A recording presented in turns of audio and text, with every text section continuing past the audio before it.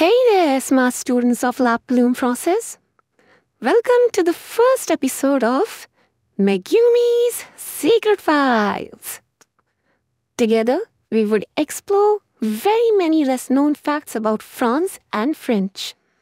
In each episode, we will dive deep into my secret files and choose a case subject. We'll study the less known facts about them and improve our knowledge. So, let's dive deep into my case files and choose our case subject for today. And our case subject for today is. Drum rolls, please. Mona Lisa! Yes, our subject for this episode is Leonardo da Vinci's chef d'oeuvre, Mona Lisa. Mona Lisa was painted by Da Vinci somewhere between 1503 and 1519 in Florence. Francis I of France acquired it for 4,000 gold from maybe Da Vinci himself or his legal heir Francesco Melzi. One interesting fact about Mona Lisa is that she was not painted on a canvas like our usual paintings. Instead, she was painted on a poplar plank. Oh, that's crazy. Here's the image of the backside of the Mona Lisa painting.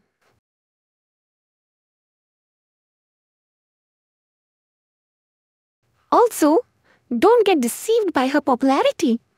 As big as her name is, the original painting is small, measuring only 77 centimeter by 53 centimeter. It's often said that the lady in the painting is a woman called Lisa del Giocondo.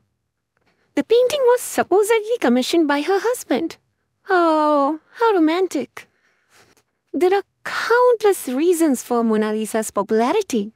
However, what cemented her fame and globalized her name is a story of her theft. Cemented her fame, globalized her name, fame, name.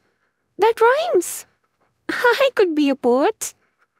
Press the like and subscribe button if you want me to write my own poems.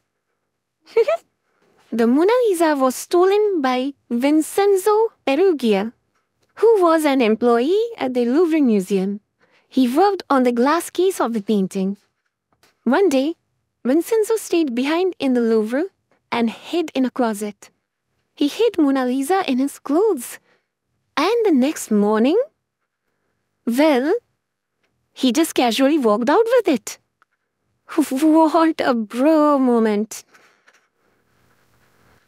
Mona Lisa instantly became the talk of the day across the globe after the theft.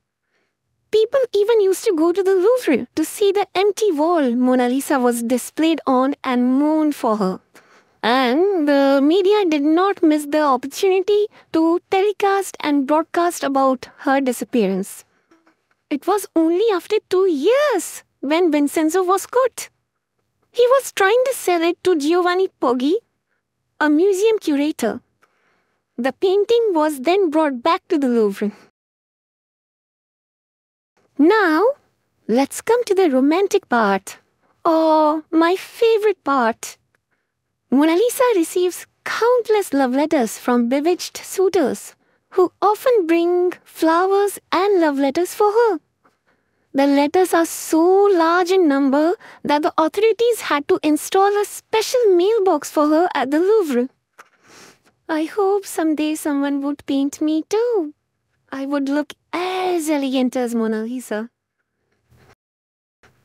Oh, where are you, my artist in shining armor?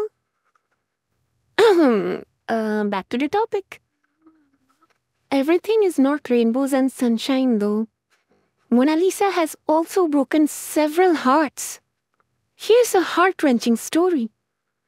Luc Maspero, an aspiring artist, fell desperately in love after seeing Mona Lisa for the first time. It was a love at first sight, un coup de foudre, as we say in French. This love turned into an obsession and Maspero jumped to his death from the fourth floor of a Parisian hotel in 1852.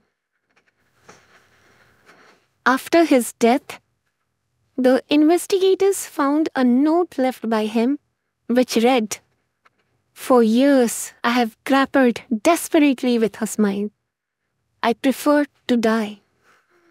May his soul rest in peace. And now comes the biggie for the French learners. Do you know what Mona Lisa is called in French? Well, Mona Lisa is called La Joconde in French. Remember it and impress your friends with the newly gained insight. And that marks the end of the episode. I would like to thank the professors of La Plume Française for teaching me all this.